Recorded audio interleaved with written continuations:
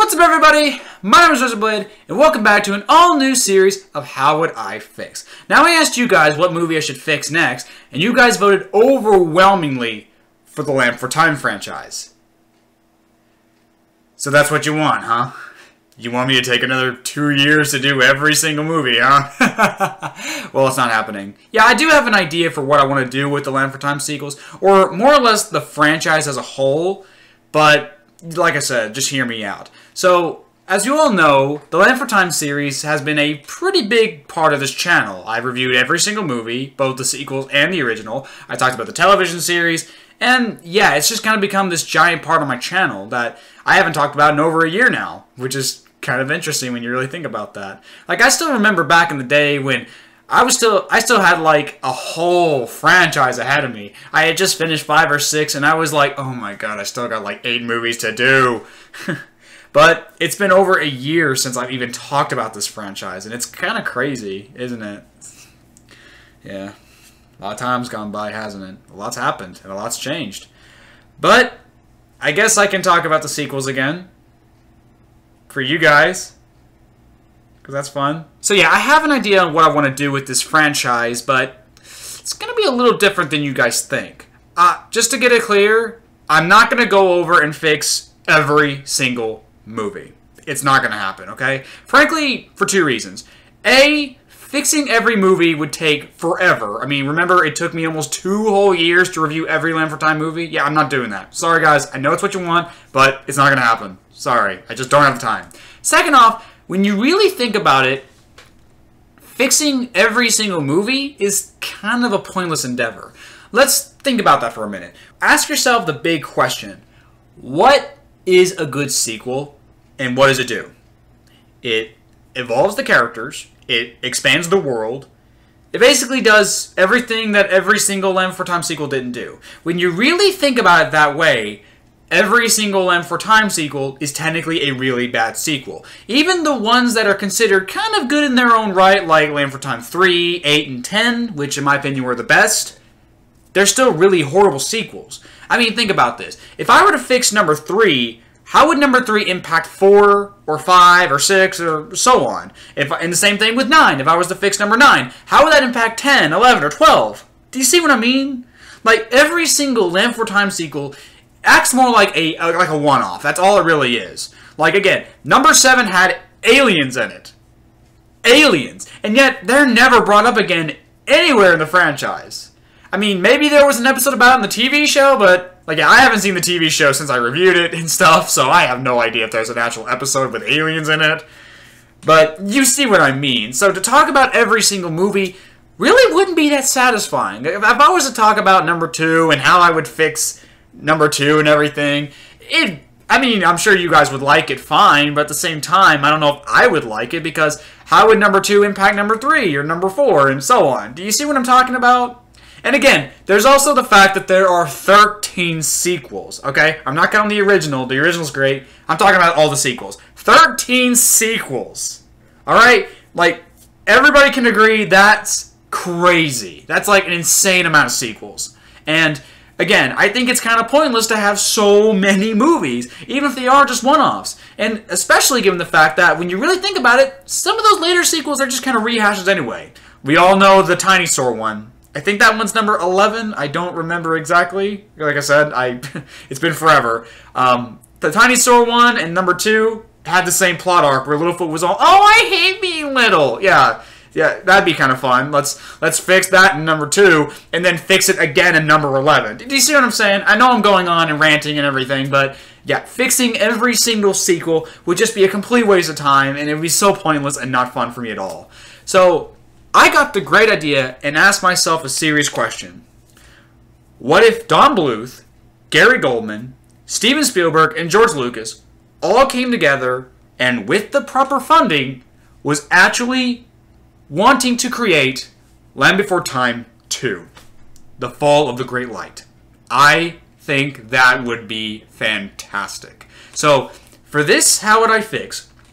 Instead of just going through every single sequel and just fixing it, fixing it, fixing it, fixing it for two years, because we know that's how long it'll take given my luck.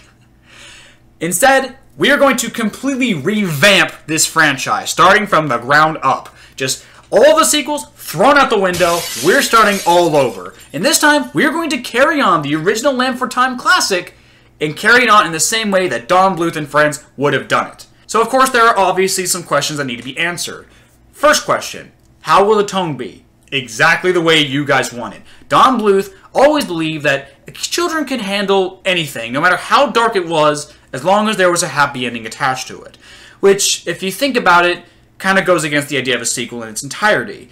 But and yeah, Don and yeah, Don Bluth has kind of admitted he really wasn't really a fan of sequels. He actually hates the Land Before Time franchise and what it became. He hated the sequels, and I think he kind of hates sequels entirely. Like he loves the idea of Happily Ever After so much. He thinks that's like the perfect ending, and a sequel automatically goes against the idea of Happily Ever After. Like carrying on after Happily Ever After kind of ruins it. But let's say for the sake of this scenario, Don Bluth is okay with having a sequel. Don would be like, yes, I love this world, I love these characters, I want to see how far we can take this. How far are we going to take it? 14 movies? Well, let's not get carried away. No. I think the maximum length Don and Friends would want to take this franchise would be at least to three.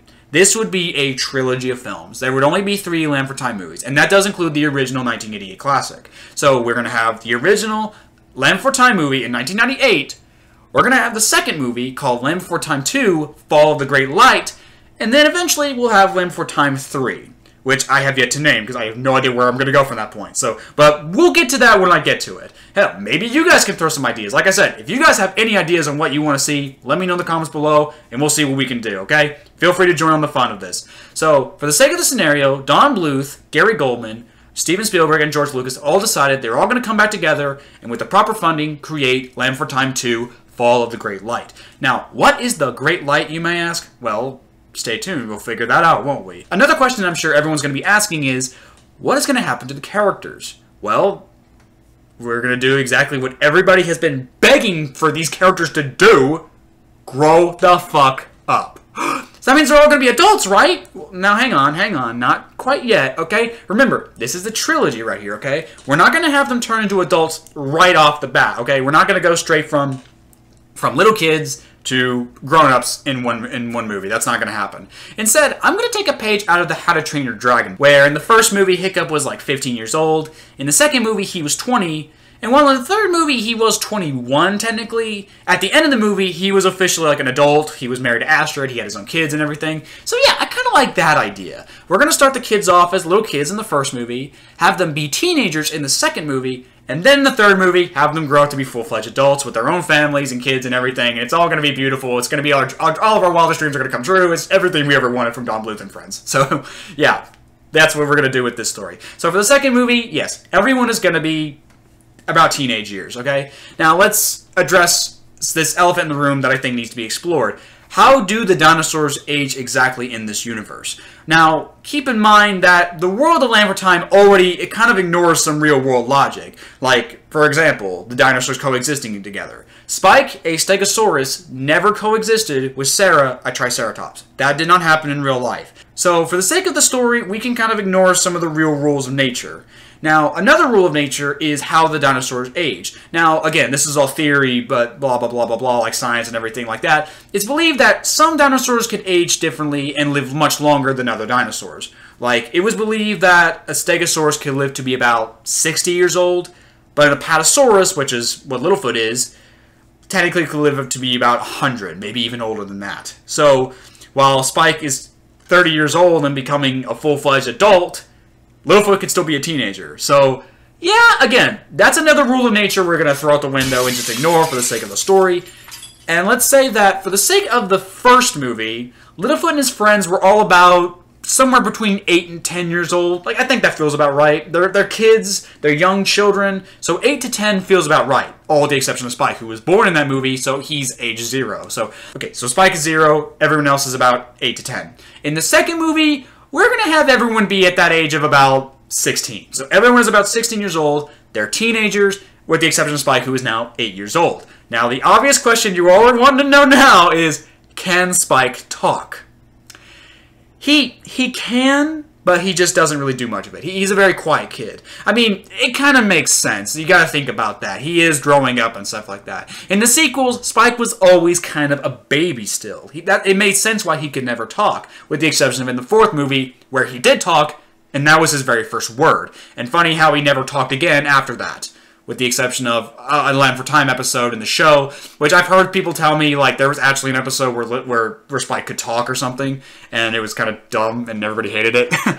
because it kind of went against it. I know it's a real fun, enduring trait for Spike and everything to not be able to talk, but again, this is not the sequel franchise. This is not the one that exists in our real world. This is my storyline. And I think, and when I say my storyline, I mean Don Bluth's, in this storyline, I think it makes sense that Spike would still be able to talk, but he's still a very quiet kid. He wouldn't talk that much. It'd be kind of like Ferb from Phineas and Ferb, where he doesn't talk a lot. He kind of has like one or two. He's mostly a very quiet kid. Only has like maybe one or two lines. And yes, Spike still don't give a fuck about nothing.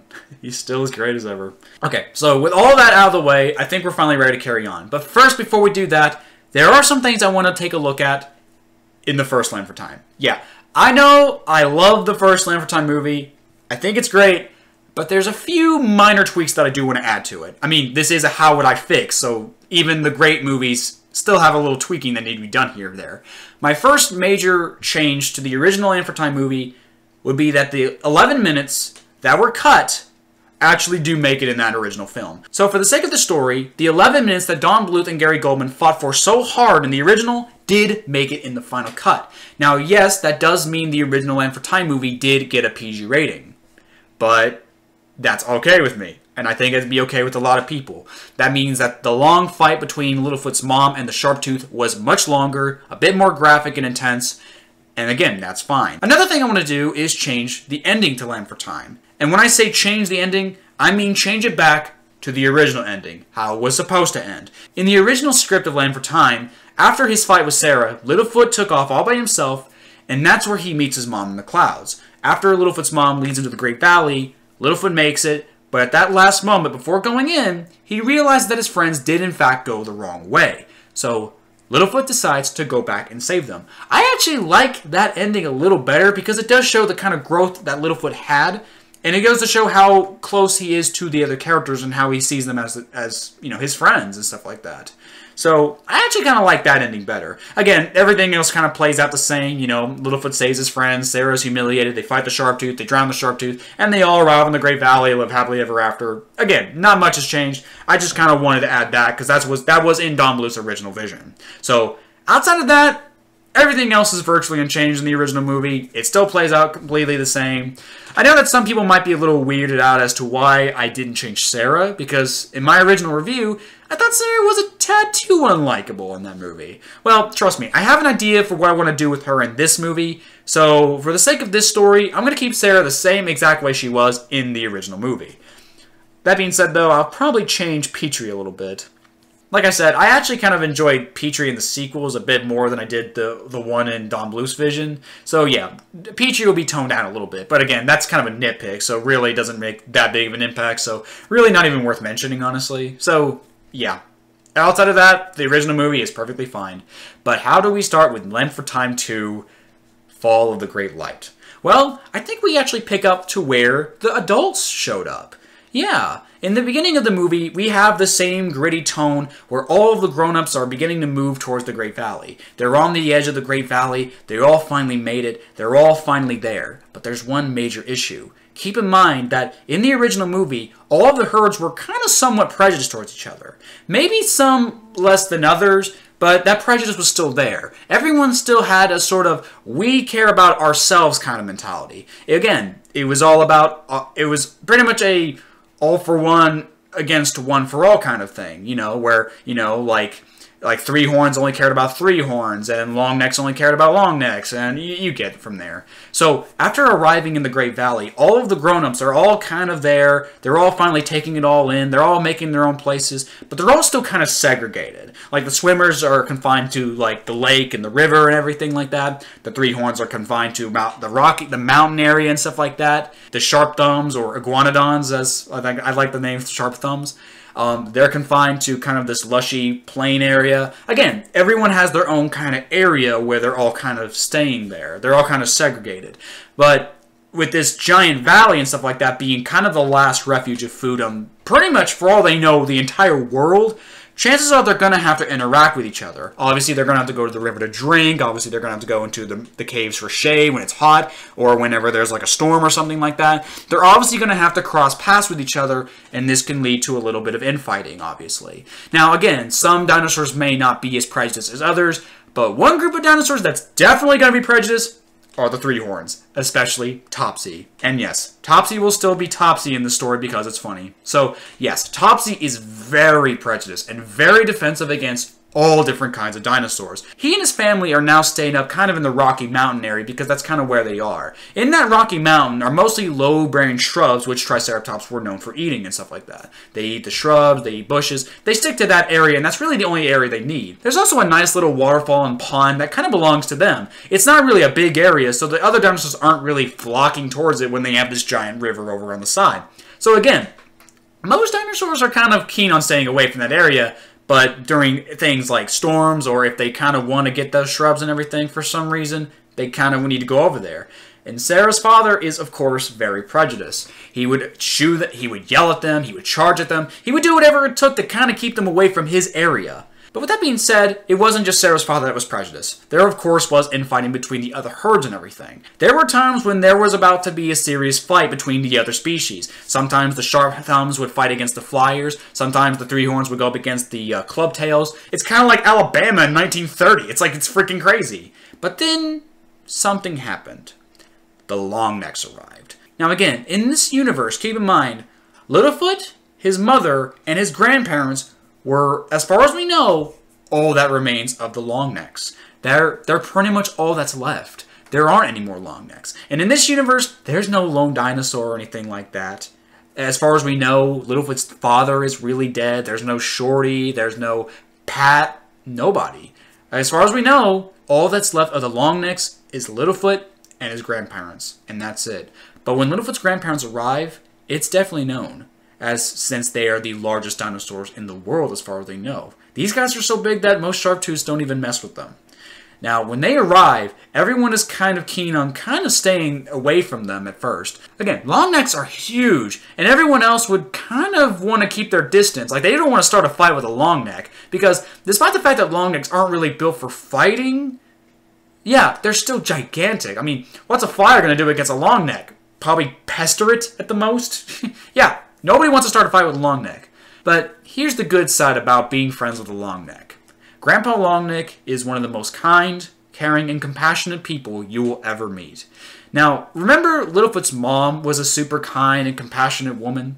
Even though she believed that all hurt should stay, you know, you know, independent of each other, she was still a kind, caring person, and she still believed in life and stuff like that. There's a reason why she saved Cera along with Littlefoot and stuff like that. She didn't just let Cera fall to her death. Because that would have been awful, right? No, she had to have gotten it from someone, and that person, of course, was her father. In this universe, Grandpa Longneck would actually establish a bit of a peace between all the different kinds of dinosaurs. Since they all have to live together, it only makes sense to try and establish peace, right? Grandpa Longneck would actually try his best to help everybody have a peace. He would help the other dinosaurs eat. He would help the flyers create nests and make new homes. He would actually try his best to be like a bit of a, a, moderator, a peace moderator. He would bring peace to the Great Valley. And in this kind of way, everyone starts getting along. Well, almost everybody, but we'll get to that. In a way, Grandpa Longneck kind of saves the Great Valley and all these herds and helps them get along.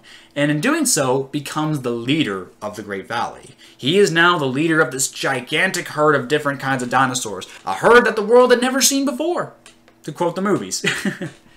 so, yeah, Grandpa Longneck is now leader of the herd, and everyone has grown to respect and kind of admire Grandpa Longneck. All except for one person, of course, and I think we all can tell who that person is. Topsy is not having it. Yeah, he really doesn't care. He and his family still kind of want to keep to themselves. Well, kind of. Like I said, we'll get to that in a minute. But yeah, Topsy overall is hellbent on keeping him and his family as isolated from the rest of the dinosaurs as possible. Thanks for the offer, but I don't need help from a long neck. Yeah, this would kind of disappoint Grandpa Longneck, obviously, because all he really wants to do is have peace in the Great Valley.